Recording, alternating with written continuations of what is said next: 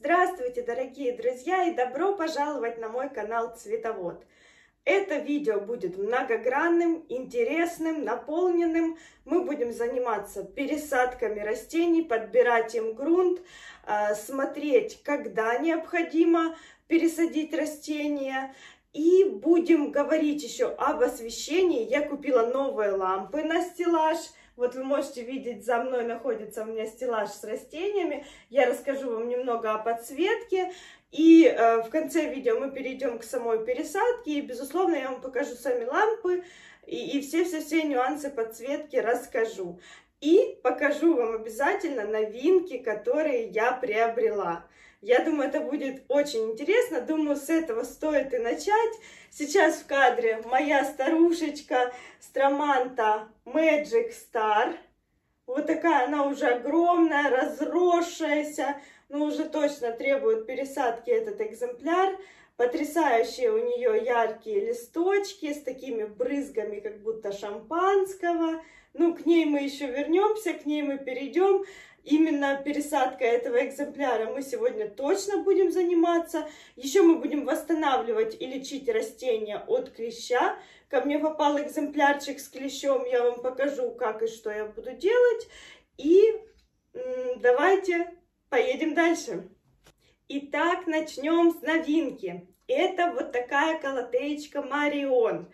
У меня уже был экземпляр данного сорта, потом он чего-то мне перестал нравиться, прошла у меня любовь к этому сорту, я поделила его на деленочки и продала деленки. Но сейчас мне захотелось снова этот экземпляр, и он попался мне э, на просторах интернета. Но сейчас это не супер редкий сорт из колотей, э, поэтому я думаю, ну, сложности в его поиске не составит. Э, я видела и на OLX данный сорт. Ценовая политика приблизительно одинаковая. Ну, э, Куст такой на OLX стоит, ну, в пределах 600 гривен. Там тоже в зависимости от размера куста, ну, я вам советую, если вы не знаете, где приобрести, загляните на OLX, поищите, вбейте в поиске Калатея, и вам выдаст массу вариантов. А, я брала вот такое голландское растение, не деленое, а, вот в каком состоянии оно приходит.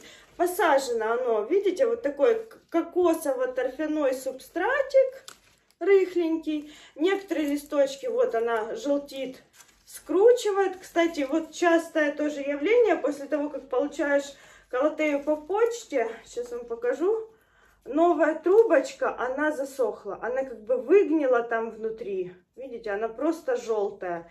К сожалению, вот если центральный лист в деленке пропадает, то скорее всего, что эта деленка уже новых листьев вам давать не будет.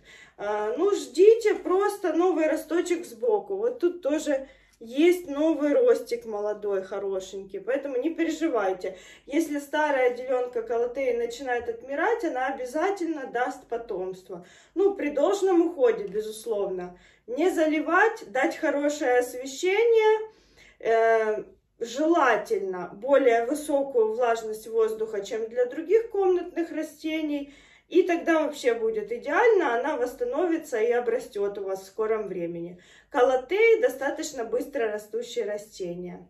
Изнанку листика похожу вам у данного сорта. Она вот такая бордовенькая. Ну и сам вот такой вот листик. Как будто перышки нарисованы на листочке. Симпатичный круглый лист. Э, это калате из Розия Пикт. Калатея розиопикта означает круглую форму листа. Многие думают, что если калатеи пишут розиопикта, значит это будет калатея с розовым листом. Нет, нет, нет. Это просто форма листа. Это вот такой круглый лист. И перейдем к следующему растению. Следующее растение, которое я приобрела, сейчас любители хой, приблизьтесь поближе к экранчикам, это хоечка DC70 или DS70. Вот такая варигатная форма данного сорта. Серединка листика желтоватая. Сам листик на ощупь а, махровенький. Он такой шершавенький. Очень интересный. Вот хотелось мне такую хоечку, попалась деленочка данного сорта. Я ее пролила сразу по приходу препаратом HB101 И уже вижу вот тут вот корешульки нарастают. Э, препарат еще раз вам покажу, потому что всегда спрашиваете об этом препарате. Вот такой вот препарат HB101. Стимулятор роста, корнеобразователь, потрясающий препарат. Детальнее о нем э, запишу вам как-то ролик, детальнее расскажу. Ну вот, пока стоит у меня на солнечном подоконничке, э, Хочу ее потом, безусловно, когда она разрастется, пустить на опору, вот такую кругленькую. Даже я сейчас, друзья, вам покажу, какие существуют опоры для хой. Друзья, вот такие у меня есть опоры для хой. Посмотрите, какие классные опоры. Вот это просто кругленькое кольцо, а вот это кругленькое кольцо с решеточкой. Хорошо они так спаяны основательно. Покупала у девушки в Фейсбуке, отправляют по Украине без проблем, Укрпочтой, новой почтой. К сожалению, потеряла ее контакт. Я бы вам ну, оставила тут ссылочку, чтобы вы э, могли себе приобрести. К сожалению, не помню ни фамилию, ничего. Ну, вот такие опоры приобретала для моих хоек. Надеюсь, в дальнейшем пущу их на вот такие опоры. Вот когда несколько ростов, ростков хой, я думаю, по вот этой сетке будет вообще классно их крепить везде, вот тут, и они будут классно тут переплетаться. Ну, а это будет просто вот такой круг пустой, незаполненный последней поездке своей в Одессу я приобрела в эпицентре на седьмом километре вот такое растение. Это Радермахера. А, на моем, на моем канале есть видео, это предпоследнее видео э, на моем канале с обзором из Одессы, полноценным из эпицентра. Там шикарно, там столько было диковинок, я прям аж кайфанула, такой восторг от похода по этому эпицентру испытала. Так что, друзья, там видео где-то минут на 40. Если вы хотите покайфовать, насладиться ну, растениями, я говорила все цены, все стоимости, чтобы вы могли ну, приблизительно ориентироваться в ценах на растения. Э, посмотрите тот ролик обязательно, очень вам советую. Э, наберите чайку, там кофейку и кайфанете, посмотрев этот ролик. Вот такое растение Родермахера.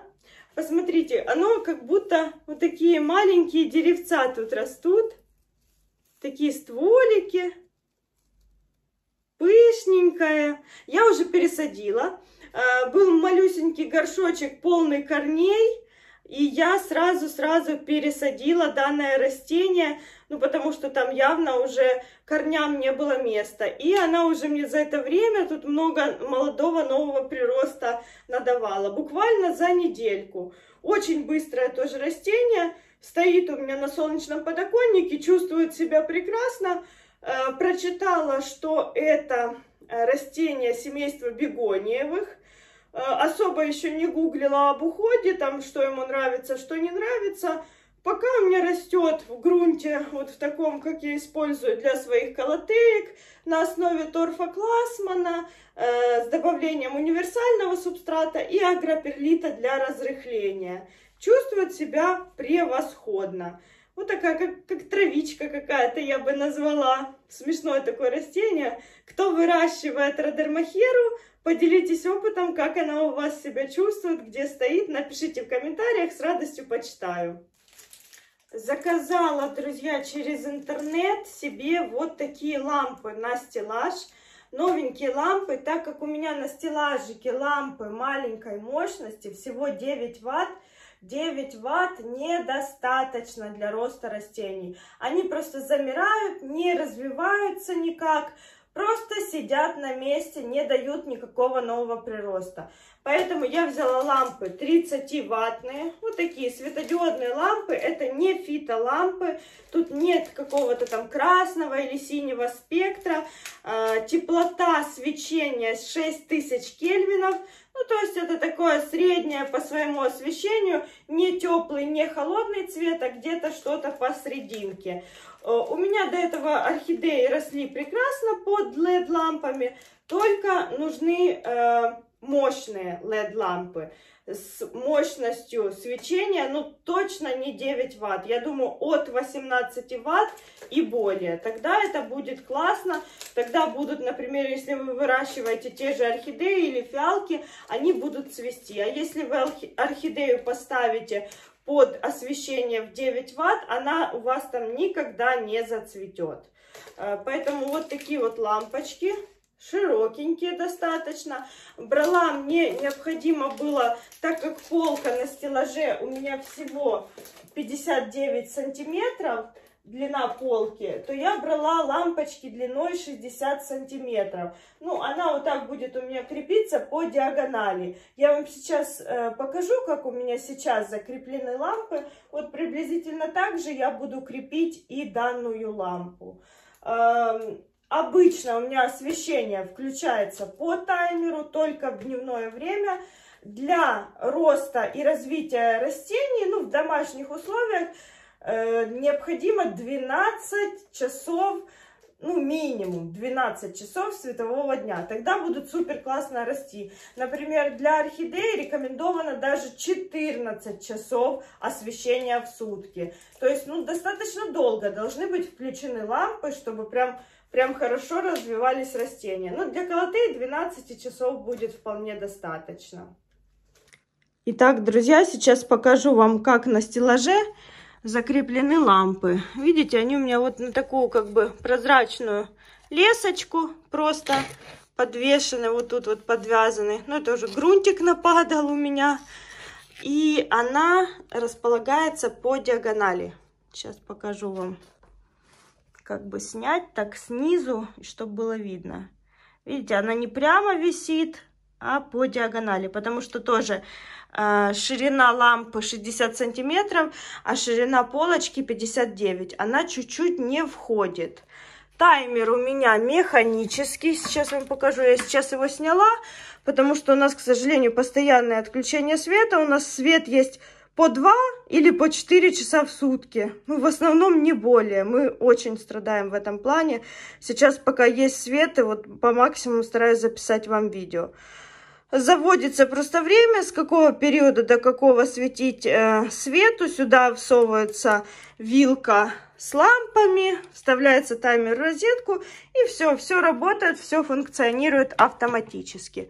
Заодно вам покажу гигрометр и термометр. Что мы имеем? 27 градусов сейчас у нас достаточно жарко в квартире. И очень высокая влажность, 74%. Но для таких тропических растений это просто потрясающая, шикарная влажность. Они нам за эту влажность точно скажут спасибо.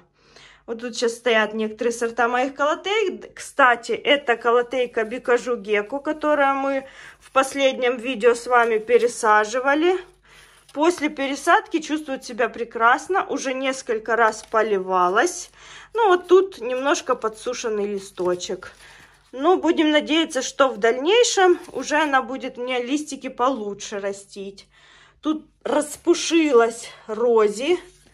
У рози прям такие молодые огромные листы, много трубочек. Хорошо этот сортик растет подскрутила листики. Вот смотрите, друзья, когда колотею так подскручивает листики, проверьте грунт на влажность. Скорее всего, грунт сухой, и ее необходимо полить. Вот так вот заворачивать листики, когда хочет пить колотейка. Обратите на это внимание. Вот так у меня стеллажик располагается тут. Наверху стоит хойка. Хойка, она настолько беспроблемно и не требовательно к интенсивному освещению, что стоит без подсветки наверху стеллажа. И вот такой усище она уже вырастила. Огромный ус потихонечку начинает обрастать листочками. Вот такая красота. И, друзья, перейдем еще к следующей части видео. Сейчас вам все расскажу. Попало ко мне вот такое растение. Это плющ или хедера растение моей сестрички, которое необходимо пролечить. Его атаковал клещ. Я вам сейчас расскажу препарат, который я буду использовать. Это новый препарат в моей аптечке. Буду тестировать, так как я уже устала бороться с клещом на колотеях и ищу такой суперэффективный препарат, который эффективно убьет клеща. И вот в отзывах почитала много хороших отзывов о данном препарате и решила его купить. Сейчас вам обязательно его покажу.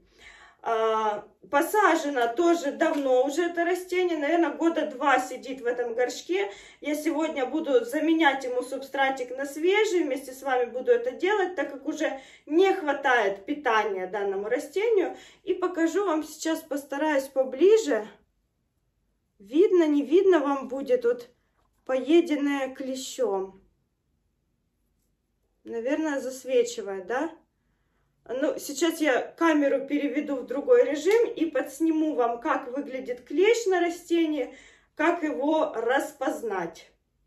Друзья, сразу скажу, клещ сжирает молодые побеги. Чаще всего его можно встретить именно на молодом приросте. А как видите, растение достаточно лысое.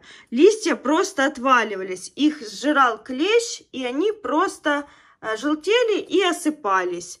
Вот, друзья, следы его деятельности. А, как такие некрозики на листиках, как, как выеденные участочки.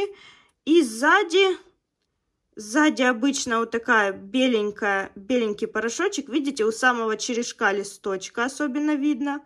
И когда популяция клеща большая, еще видна паутинка. Вот так все растение зарастает просто паутиной. Поэтому будьте внимательны, обнаружив клеща, я обычно мою растение мыльным раствором, любым мылом смываю по максимуму всего клеща, а потом уже произвожу обработку. Сначала, чтобы убрать всего видимого вредителя, а потом использую акарициды для борьбы с клещом. Так как клещ это паукообразное, это не насекомое, то бороться с ним надо именно акарицидами, не инсектицидами. И сегодня опрыскаем данное растение этим препаратом. Но, думаю, сделаем это уже после пересадочки. Тут грунт, ну, вот такая обычная земля, обычный универсальный субстрат. Тоже более двух лет уже растение в этом грунте требует замены его, так как нет питательных веществ. Поэтому будем пересаживать, чтобы растение сразу воспряло духом, начало обрастать, пролечим его. И думаю, судьба этого растения будет прекрасной. Друзья, вот такой препарат сегодня буду использовать в борьбе с клещом. Новый для меня препарат, но с очень хорошими отзывами. О, о, чтобы не засвечивало. Пестин Акарус. А, производитель квитковый привоз. А, вот, протоклещив написано. Именно препарат специализирующийся на борьбе с клещами. Я вам скажу, я его уже, видите, немного использовала.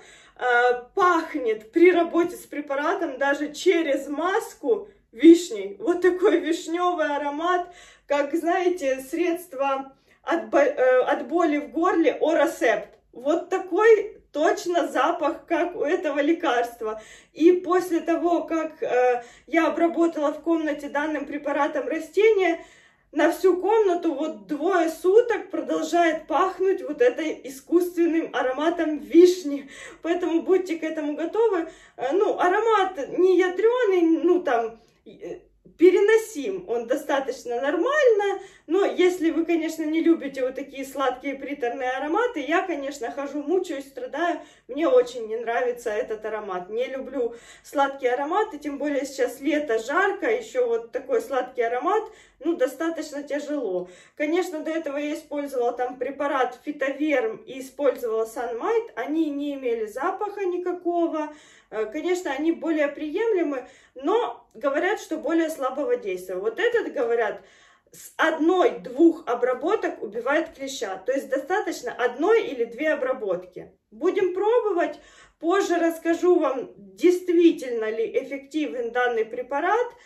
А теперь, дорогие друзья, перейдем к самим пересадкам. Еще вот такую строманточку мультиколор надо будет сегодня пересадить и немножечко ее так привести в опрятный вид.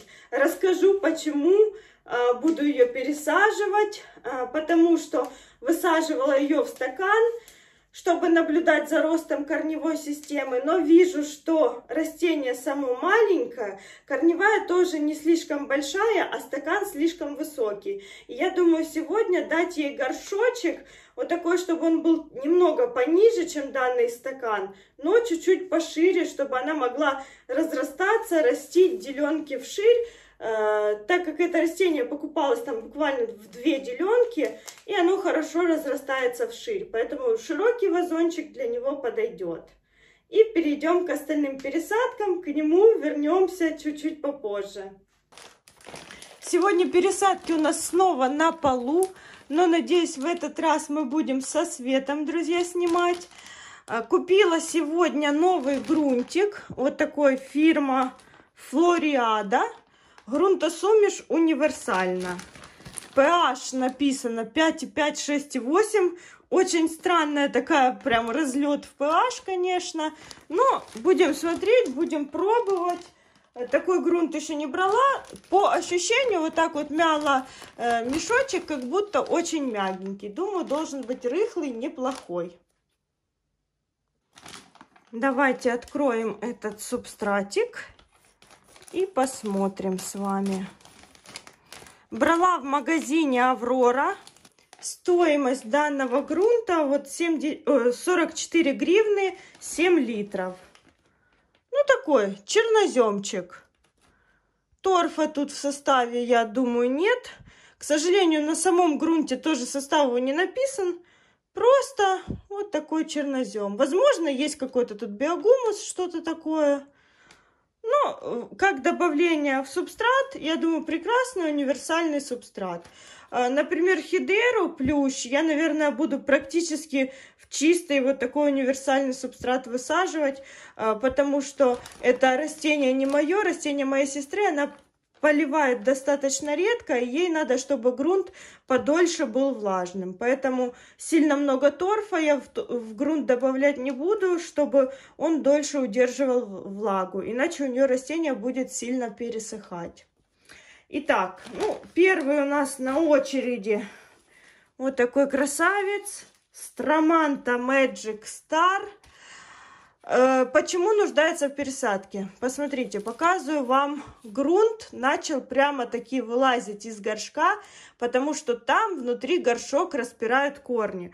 Горшок даже стал деформироваться. Он стал, вот видите, прям где свет, где блик вот падает. Видно, что вот тут распирает, лезет деленка из субстрата. И вот тут у самого края, сейчас уберу листики, у самого края лезет деленка. Но тут явно уже нет места этой строманте, поэтому необходимо ее в срочном порядке пересадить. В эпицентре в городе Одесса я купила горшочки. Вот такой огромный взяла горшок, но это под колотею арбифолию. Думаю, сегодня мы вряд ли успеем ее пересадить. Вот этот огромный горшок стоил 83 гривны с поддоном.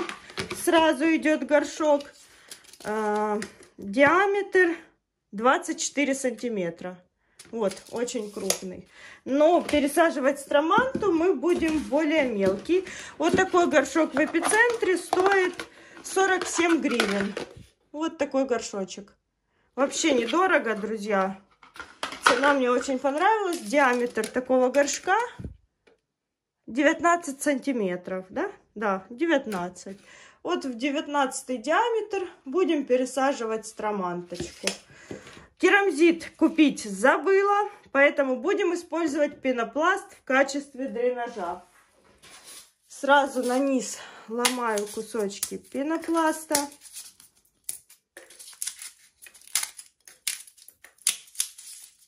Без разницы, что у вас будет в качестве дренажа, Главное не материал, который удерживает влагу.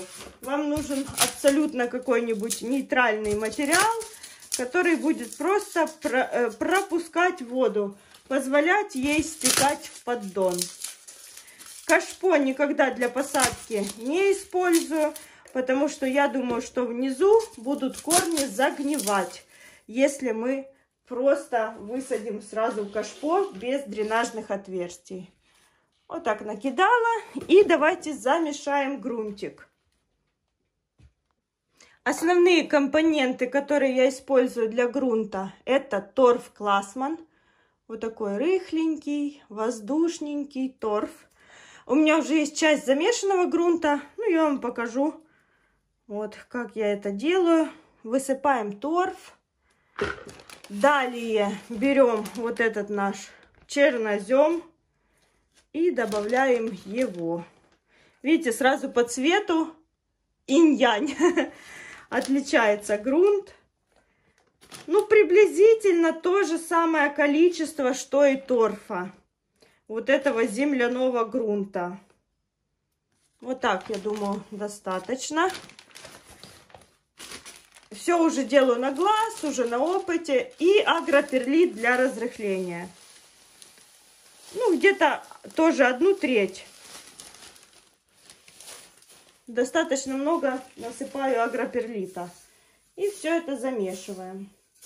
Сейчас посмотрю, наверное, все-таки агроперлита чуть-чуть больше нормы сыпанула. Сейчас, наверное, придется добавить еще грунтика.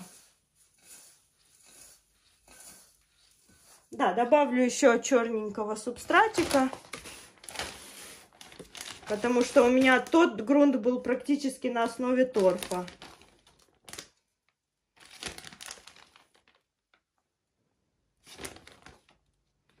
Хотя многие говорят, что вот тропическим растениям такой чернозем и не нужен.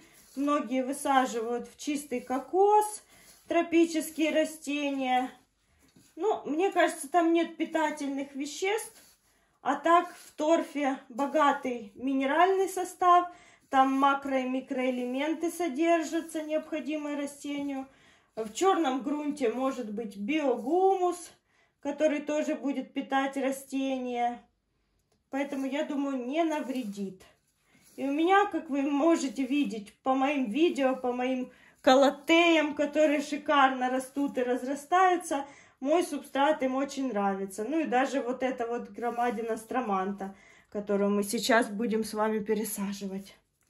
Так, сразу на низ укладываю грунт, чтобы как бы на подушечку из грунта село растение горшочек достаточно высокий, поэтому вот так хорошо наполняю грунтом. И давайте выймем строманточку, посмотрим, что же, что же там внутри горшочка. Там, наверное, уже и грунта не осталось. Она его просто выбила весь, вытеснила. Практически нереально вынуть уже. Она настолько корнями там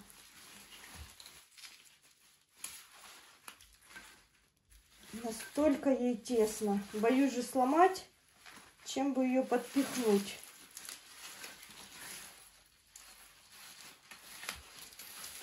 О! Есть! Так, ну что мы видим? Тут сплошные корни. Вот видите, вот та деленка, которая была выпуклая в горшке, вот она. Она бедненькая, с трудом пробивалась там. Корни беленькие, хорошенькие. А, корни все здоровые. Так, это чешуечка. Такие чешуйки я обычно убираю. Керамзит. Тут, друзья, внизу был керамзит. Его я сейчас постараюсь извлечь. Потому что у нас уже слой дренажа есть. Нам вот этот керамзит, который сейчас окажется в центре горшка, не нужен. Так, сейчас постараюсь его аккуратненько. Особо там тормошить, убирать старый субстрат я не буду. Не вижу такой необходимости. Пусть разрастается вширь в новом субстрате. Э, да тут уже особой субстрата нету. Тут просто вот такая мочалка из корней. Они пронизали весь субстрат, они его просто съели. Корни просто съели весь грунт вытеснили его. Так, сейчас, сейчас аккуратненько вынимаю частички керамзита, чтобы ничего-ничего не осталось. Как раз мы распушим снизу корни, они хорошо лягут в горшочек, в новую посадку. Керамзита я тоже щедро тут насыпала. Хороший был дренажный слой, но такой крупненький керамзит. Ну, сверху можно немножко струсить старый субстратик. Сверху мы уложим новым субстратом. Какие-то старые чешуйки подубрать. Делить этот куст пока не буду. Пусть еще разрастается. Уже когда перерастет и этот объем горшка, тогда уже буду делить. Так, сейчас поставим, посмотрим по высоте. Да, по высоте то, что нужно. Вот. Под самый верх я никогда не засыпаю горшок, потому что тогда неудобно поливать растения. А вот так вот 2 сантиметра приблизительно сверху горшка оставляю ну, просто промежуток, чтобы было куда поливать. И с боков подсыпаем грунтик. Я думаю, грунт это просто великолепный. Моим всем нравится растение. Сложно уже и снять вам. Просто листья перекрывают весь процесс. К сожалению, видеооператора у меня нету. По максимуму стараюсь вам как могу снимать, чтобы вам было и интересно, и все хорошо видно. И все это ярко-красочно. Так. Чуть-чуть приминаю буквально грунтик. Вот чуть-чуть.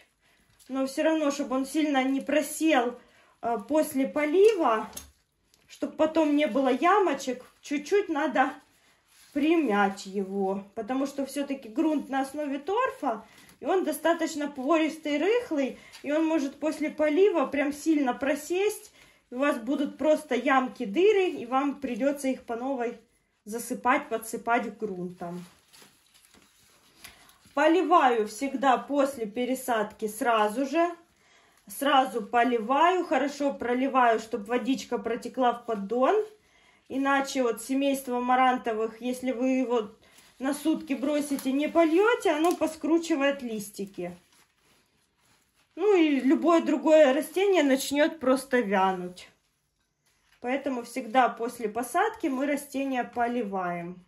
Это не касается только орхидей, потому что на орхидеях надо там дать подзажить микротравмам на корнях, если вы ее пересаживаете. Орхидеи лучше поливать на следующий день, если вы там сгибали корни. Так, ну вот такая хорошенькая посадка получилась. Вот, весь кустик, он теперь в центре горшочка. Крона сумасшедшая, потрясающая, красивая. И перейдем к следующему растению. Следующий на очереди у нас товарищ страдалец плющ. И тут надо максимально аккуратным быть, так как он заражен клещом. После него никакие э, материалы не используются. Сейчас я постараюсь убрать вот этот керамзит и уже расположиться с плющом. Итак, потихоньку сейчас будем вытряхивать это из горшочка. У сестрички растет, как вы видите, в кашпо. А, вот так придется оббивать. Не выходит он, не вылазит. Тоже, видать, корневая там плотненько уже плотничком сидит. На удивление, горшок плотный, хороший.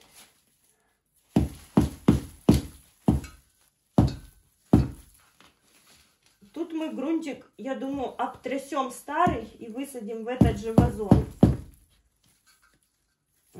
Тут не хочет выходить вообще.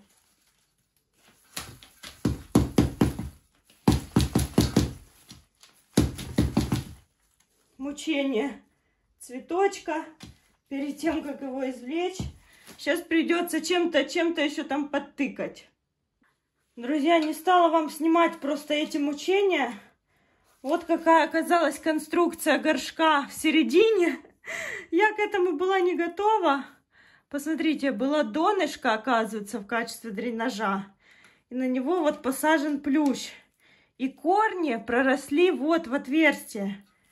Но, к сожалению, вот эти корни, которые проросли, нам придется срезать, потому что по-другому мы не вымем вот это донышко. Вот оно немного тянется. Но до конца, ну вот, оторвалось. До конца, к сожалению, не уходит. Сейчас мы просто варварским методом оторвали часть корневой. Ну, я уверена, что эта хидера, она все равно быстро нарастит себе новые корни. Поэтому я не переживаю. Тут уже вот мощная подушка из этих корней. Старый грунтик я сейчас по максимуму постараюсь убрать. Чтобы дать ей новый свежий субстратик.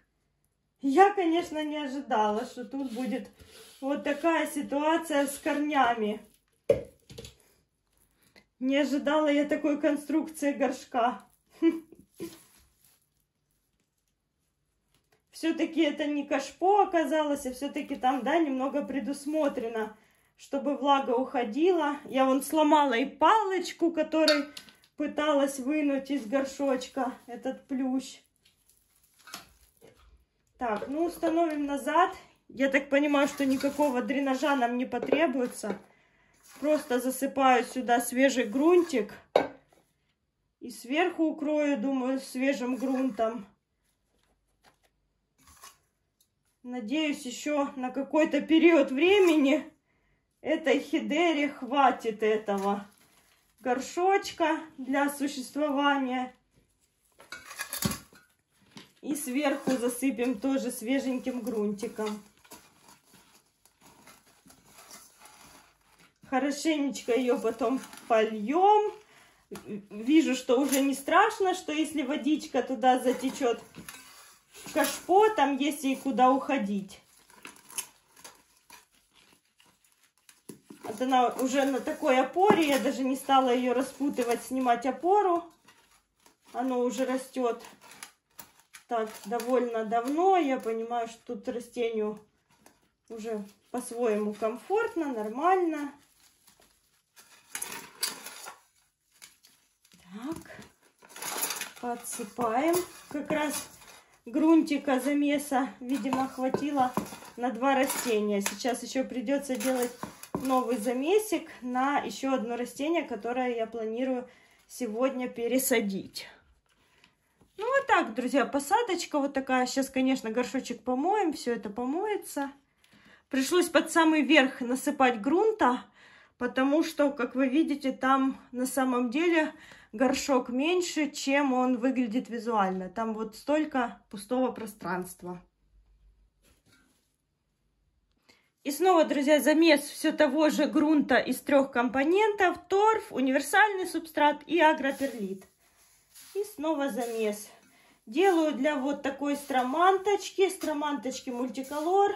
Сейчас подрежем ей листочки потому что вижу вот такие вот рыжеватенькие пятнышки у края листочков. Это, к сожалению, друзья, следы нерегулярности полива или перелива. В общем, э, где-то я технологию полива нарушила, и она мне вот сразу так сигнализирует порча листьев.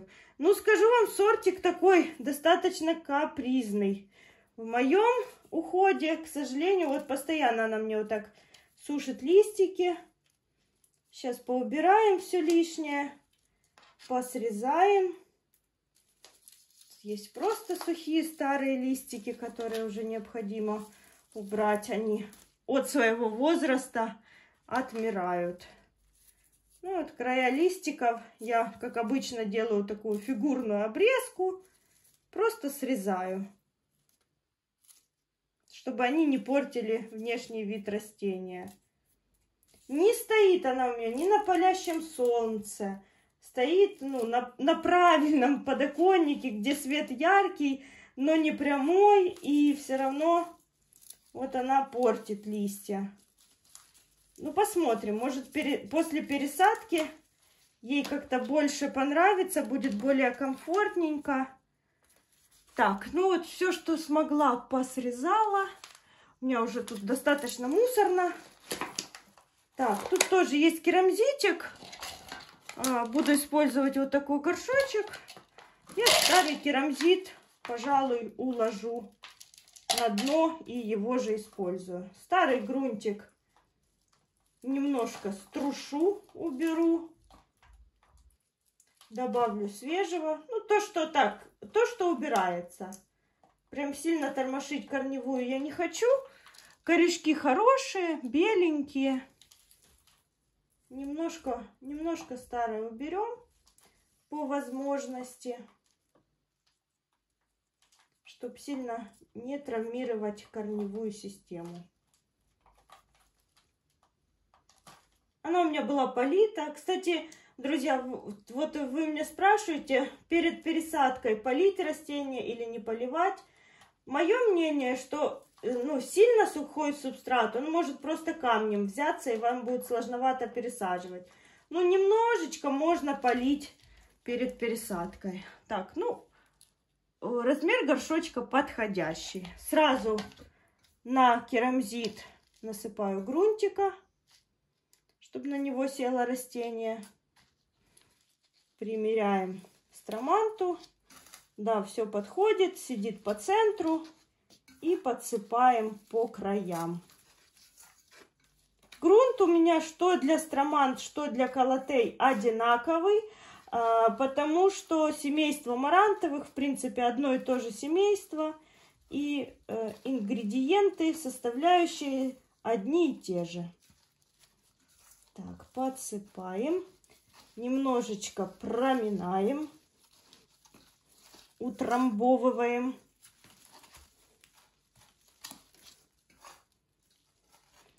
Кстати, торф Классман, он сразу после получения, он такой еще влажноватый, приятный. Классно в него садятся растения, очень удобно.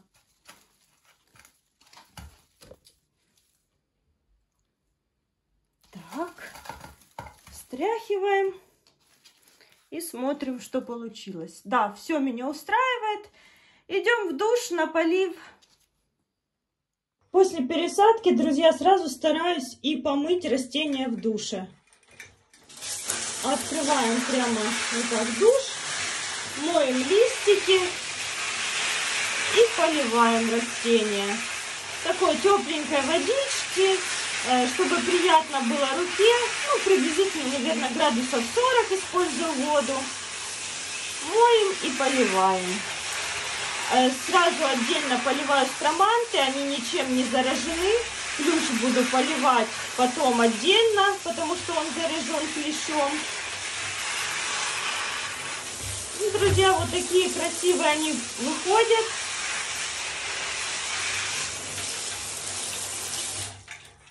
Благодарю, друзья, за просмотр данного видео. Поддержите лайком. Остаются какие-то вопросы, пишите, с радостью отвечу.